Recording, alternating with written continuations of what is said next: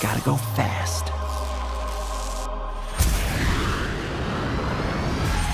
What? 342 miles per hour? That can't be right. This is the police. Open up. Uh, me?